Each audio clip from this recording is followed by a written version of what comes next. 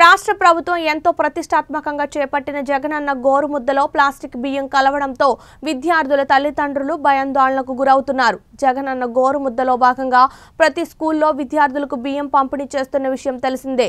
ఇందులో భాగంగానే కర్నూలు జిల్లా కౌతళం మండలం కొసగి మండలంలో విద్యార్థులకు ఆయా పాఠశాలలో బియ్యం పంపిణీ చేశారు.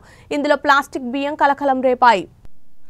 అయితే ఇందులో ప్లాస్టిక్ బియ్యం కలవడంతో విద్యార్థుల తల్లిదండ్రుల నుండి కౌతళం కోసగి విద్యాధికారిని సునందకు ఫిర్యాదులు అందుతున్నాయి. పాఠశాలల నుండి బియ్యం తెచ్చుకున్న విద్యార్థుల దగ్గర కొంత బియ్యాన్ని కోసగిలో ఏఐఎస్ఎఫ్ సభ్యులు సేకరించి ఆ బియ్యాన్ని గమనిస్తే అందులో కూడా ప్లాస్టిక్ బియ్యం ఉన్నట్లు తేలిందని ఆ బియ్యాన్ని నీటిలో వేస్తే కొన్ని బియ్యం నీటిలో పైకి తేలుతున్నాయని జిల్లా కార్యవర్గ సభ్యులు ఈరేష్ వెంకటేష్లు మండిపడ్డారు. ఇలాంటి ప్లాస్టిక్ బియ్యం తిని విద్యార్థుల అస్వస్థతకు గురి కాకముందే పై అధికారులు చర్యలు తీసుకోవాలని ఏఐఎస్ఎఫ్ నాయకులు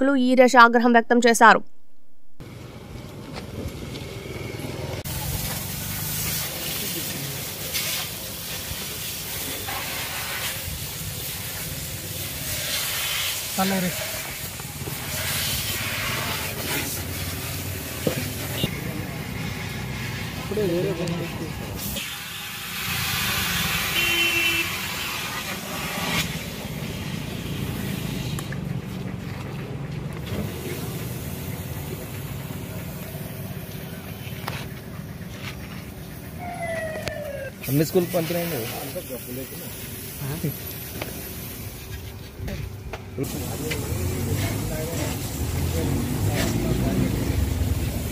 तो पेपर स्टेटमेंट निकालना है। कंप्लेंट है।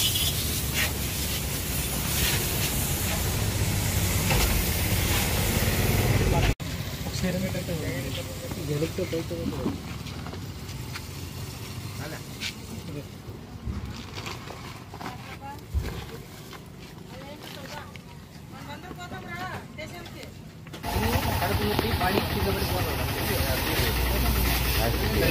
వచ్చేది ప్లాస్టిక్ బియ్యం వస్తున్నాయి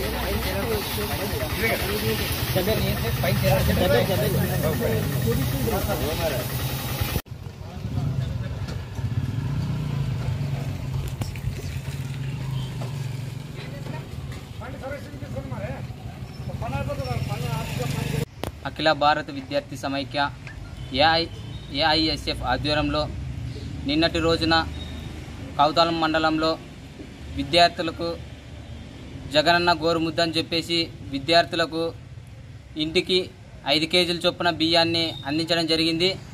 ఆ బియ్యంలో కల్తీగా ప్లాస్టిక్ బియ్యం ఉన్నాయి.